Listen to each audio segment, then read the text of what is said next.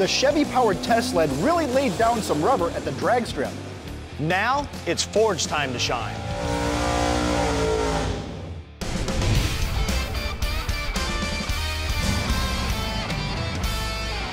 It started as an idea and quickly grew into a serious subject matter.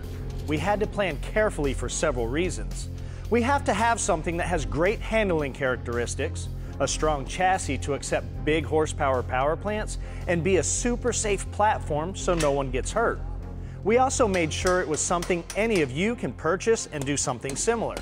It's our road dyno that is known simply as the test sled. To get all of the features we mentioned, we knew exactly who to call. We knew that Factory 5 had top-notch products. That led us to choose the race-proven Type 65 Coupe R chassis as our foundation for the test sled. It became a complete roller in no time, which meant Pat and I had a lot of work to get done on the ridiculous power plant we had in mind. The engine was sent to us from a couple of guys that I had the opportunity to teach when instructing at Samtech. They started a company that has grown into a staple engine supplier in the LS world. They are late model engines, or LME for short. When they heard about our idea, they were excited to send us one of their new 427 inch Extreme Crate engines that was built to handle 2,000 horsepower. The sled made its debut at Holley's LS Fest East. After letting it get its well-deserved attention, Pat strapped in and made an inaugural pass down the drag strip. Since the LS event is in our rear view, Pat and I decided to remove the 427-inch turbo engine and get ready for the next bullet in our stable. Now remember, this chassis was designed to accept any engine that Pat and I want to throw in it. So the next choice was decided on by a couple of factors. First, we had to peel some power out of the chassis, so a Ford had to go in it. A naturally aspirated small block Ford. I'm just joking. The deciding factors were really just pulling power out of it, and we didn't want to put a Chevy in it this time around. This 408 cubic inch small block Windsor is the perfect bullet for our next round of Test Sled Tech. We built it here and named it Old Gray Mare. With a name like that, you wouldn't expect a lot of power. But this mare has a set of Trick Flow 225cc high port cylinder heads, a solid roller camshaft, and it's stroked to 408 cubic inches. With components like that, this bullet will still be a handful in the test sled, but it will be much more manageable than running a 1200 horsepower turbocharged engine. And that will make the car more versatile, whether we take it to the drag strip, around a road course, or even drive it on the street. Like any gearhead, we can't resist the temptation to work on our engine. Before we drop the Windsor into the test sled, we're gonna change up the induction and give this engine a vintage hot rod look. We'll start by removing the single plane intake manifold. The intake manifold we will be using is every 351 Windsor owner's dream. This is Holley's Hi-Ram, and if it looks familiar, it is the same configuration as the LS version. That means the tops are the same and they bolt on to this one. So if you want to run a forward-facing 102 millimeter throttle body, no problem. It comes in two configurations, either drilled or non-drilled for fuel rails. But the big advantage to this is you can bolt a carburetor top to run either one or two carburetors or throttle body injections. Our Fel-Pro gaskets are in excellent shape with no tears, so we will reuse them. All we have to do is lay down a bead of Permatex Right Stuff 1 minute gasket maker on the china walls and the water ports. Then the intake drops gently into place. The fact that there's a clear line of sight to the intake valve, along with a tapered runner, lets you know that this intake has serious airflow.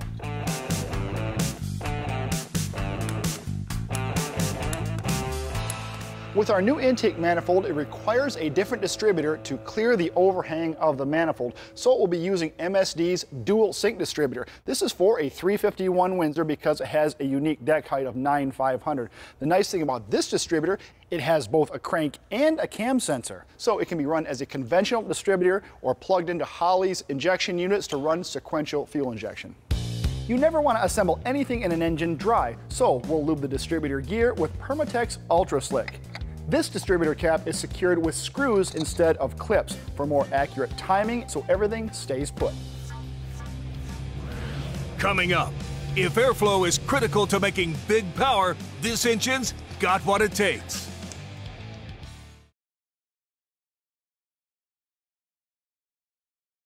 Power Nation is brought to you by Rock Auto. With the Windsor hooked up on the dyno, we are almost finished. A little work on the top end, and we'll be ready to run. Topping off our Hi-Ram, we decided to go completely old school since our last engine was an LS that was turbocharged and had sequential injection. This is the direct opposite of that old school carburation. Holley makes a top that will accept two four barrel style throttle bodies or carburetors, and we will be using our QFT Black Diamonds. Now these made great power on an earlier combination and we know they run great. Plus we'll be also running a couple of two inch spacers to increase a little bit of plenum volume. But the bottom line is we wanted that old school tunnel ram look and this fits the bill. Before we run our dual setup, we wanted to try something first. We're going to try a single carburetor. Holley offers these tops in blank fashion, so I went ahead and machined this one to accept a single carburetor. This is our QFT 950. This is our dyno carburetor. We're going to run this first to see what kind of power it makes.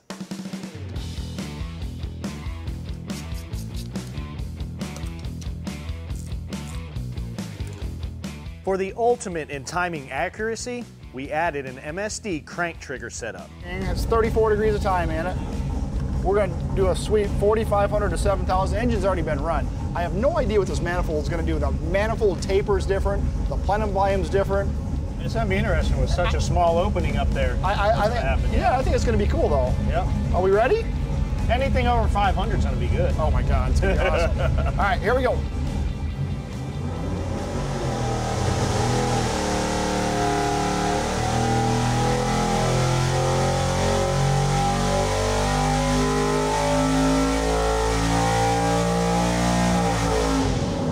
Decent number there.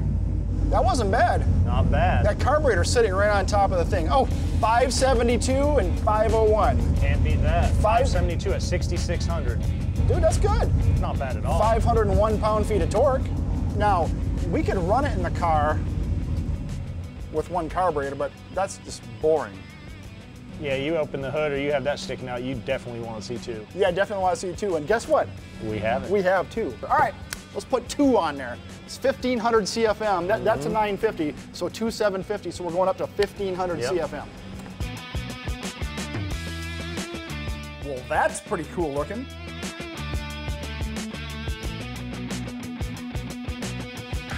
All right, dual mixer valves on the top here. Dual 750s. Idles? I, I'd say they're uh, tuned up right. Well, they were on a bigger engine that made a little bit more power, but uh, we're in business here. Just gonna repeat the run, same RPM, same sweep. Yeah, this this is this all it is is adding one carburetor. Are you ready? Yeah, man.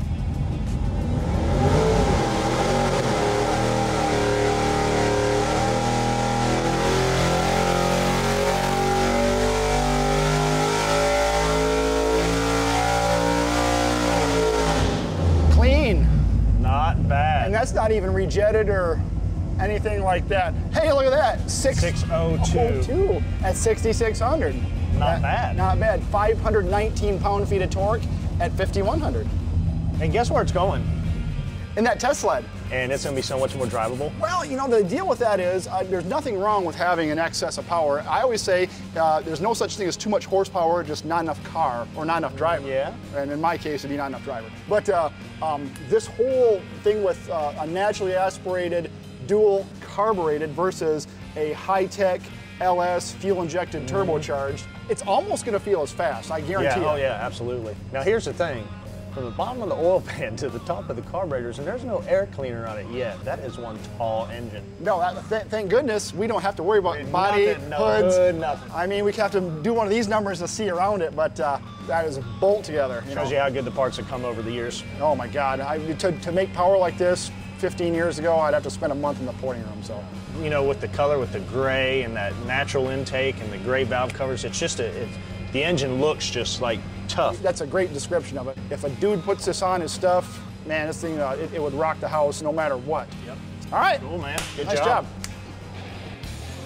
Up next, if you want to see the cutting edge in race technology, PRI is the place to be.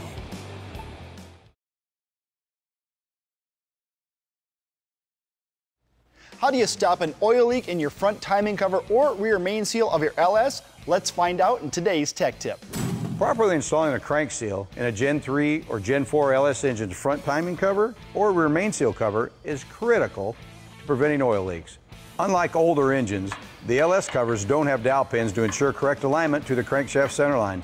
Get your alignment wrong, and your engine will mark its territory everywhere you park. A set of Summit Racing Pro LS cover alignment tools will prevent those leaks by perfectly centering the seal openings when you install the covers.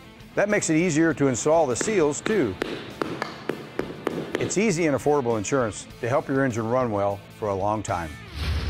If you're into racing, and it doesn't matter what type, it can be on the asphalt, in the dirt, or out on the water, the PRI Trade Show in Indianapolis is the place to be. From machinery, parts, services, and everything it takes to go racing, this is where everyone shows their wares and gets racers ready for their upcoming seasons.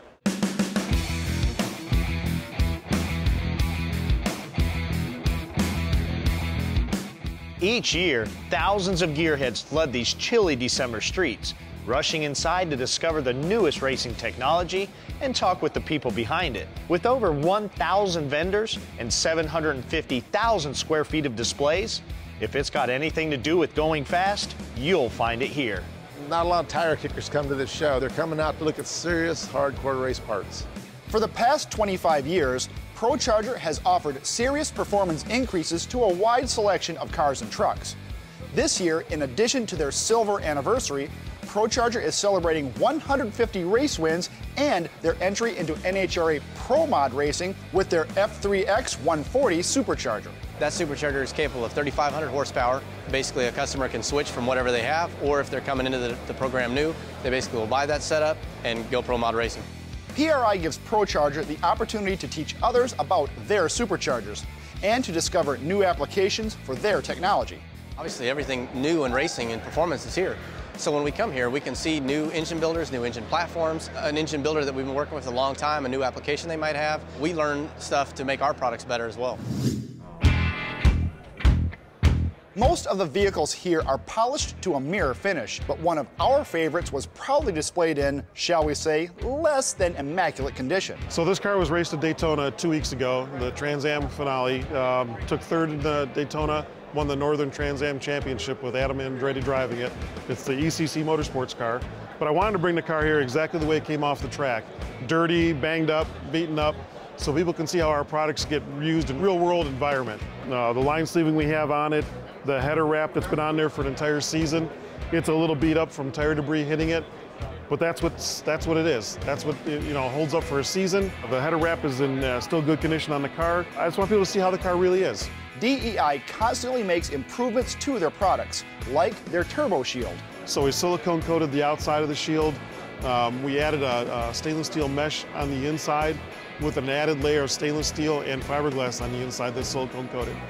Really to, to, to beef up the durability of the cover, make it stronger, better, and perform uh, the best it can be, really.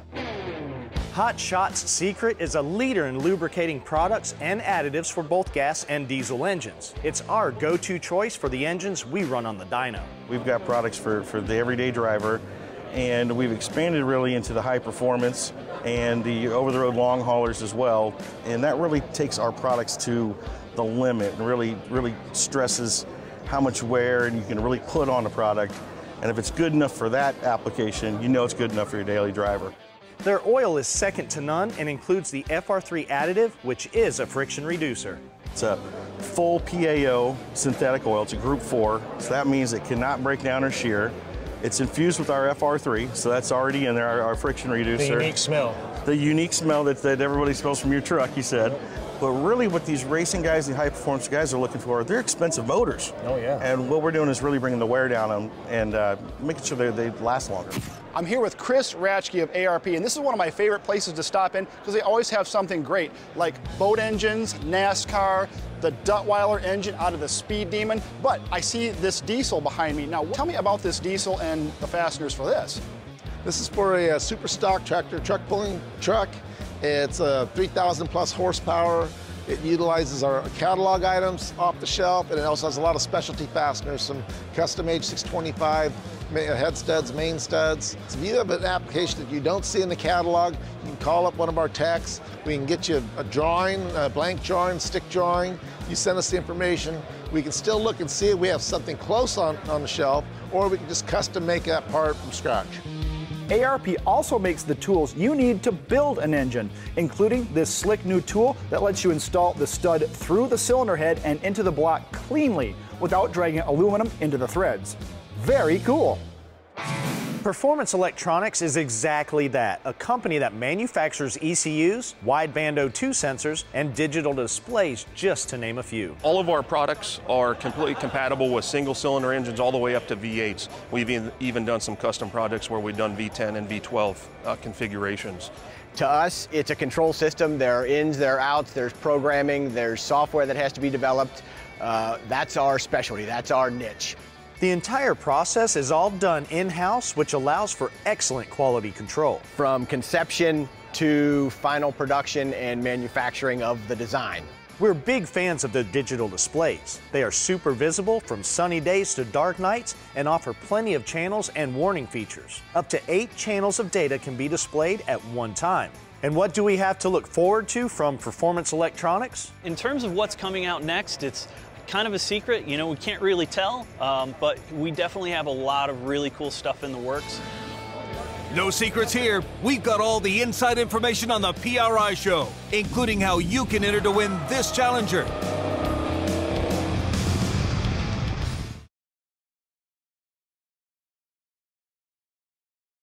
Power Nation is brought to you by Rock Auto. Hey, wait, what are you doing? I'm entering to win the car. We are not allowed to do that. Get, get, off that thing, man. We never get to have any fun, but we are here with our 2019 Dodge Challenger we built on the show. And the reason we're here at the booth is because Permatex teamed up with Engine Power to build the car and give it away to one of you. Now don't forget, we use Permatex products on all the engines we build, so make sure to check out their website and their products for any of your projects. I absolutely love this car. It's, it's awesome. Drivability, power. I'm jealous. The right package. I can't have it. I guess I can't either. when it comes to holding fasteners in place, keeping gaskets sealed up tight, or just keeping you and your shop clean, the name is Permatex. They recently introduced a new high temperature red silicone as part of their Right Stuff line. This gasket maker sets up in 90 minutes or just one minute, depending on which formula you choose. Now you don't have to wait 24 hours to get your vehicle back on the road. We've always had just one option for silicone for many, many years. So what we wanted to do was broaden that selection. We wanted to offer our right stuff uh, benefits, features and benefits, and bring it over to the high temp red line. In 1972, AMSOIL made history with the first synthetic oil to meet American Petroleum Institute's service requirements. Their dedication to innovation continues to this day. Check out this easy-to-use quart of gear oil, which prevents messes when servicing your vehicle. We've got this Severe Gear Easy Pack. People here at the PRI show are coming up and saying, where have you been all my life? We started with Severe Gear. We went into the automatic transmission fluid, manual transmission, marine, ATV, UTV. No matter what type of engine you run, AMSOIL has what you need. For the people in the world of racing, the PRI show feels like a homecoming or a class reunion. It's always fun to catch up with old friends like the crew from Samtech, the School of Automotive Machinists and Technology. Every year we bring uh, some, some of our students who are getting ready to graduate uh, who might be looking for jobs in the performance racing industry. This is a really great showcase of what's new in the industry, what's available out there. People are trying to get avenues into the industry, right? And we think, you know, we got people working everywhere. And they come out here and get a little connection, you know, and then get in touch with us. And then see all the different programs we have, you know, from the blockhead, CNC, also the associate degree if you want to go that far. PRI also helps Samtech connect graduates with future employers. There's so many shops that come by, hey, I'm getting ready to retire. We need somebody that can, for the next five years, learn the way that we do things, come to our uh, facility. You know, one of the big things right now is CNC. Is is that's it. Hey, I just bought this machine. I need somebody that can program, operate, run it, and and that's what we're doing here. Is trying to help fill the needs of the industry. HP Tuners has laid down some huge footprints in the performance industry by providing the most complete, cost-effective tuning and data acquisition solutions for enthusiasts, professional shops, and dealerships. Started off with the big three, Ford, GM, and Dodge. And over the past uh, year and a half, two years, we've been expanding a lot. We got Mercedes, Audi, Toyota, Nissan. We just announced Subaru recently. The MPVI2 is HP Tuner's latest generation of hardware. You basically get the device, you plug it into your OBD2, plug the other end into your laptop, and then you can read the stock file, change any parameters that are in there, and basically tune it to get the best performance out of the vehicle. One of our mottos is tune the world, so we're trying to tune as many vehicles as we can. Given the ever increasing vehicle support they offer, it is definitely a possibility. Pertronix has been a leading player in the ignition scene for quite some time. They cover domestic and foreign applications with a wide range of products. From the flamethrower line of ignition boxes and coils to late model wires and coil packs for coil on plug setups, the line keeps growing. Contour starters and alternators will get your ride going when you jump in. The line of distributors is huge, and you can find the Ignitor 2 and 3 versions on their website. We only had time to show you a fraction of what goes on at PRI. If you're part of the high performance industry, you've got to see it for yourself. PRI is one of the absolute best shows any car guy could ever come to. This event is packed with people who understand the business, who understand engines. You can have truly substantive conversations with people, make wonderful business relationships with people. It is just the best show you could attend all year, hands down. For more information about the parts and equipment used in today's episode, visit PowerNationTV.com.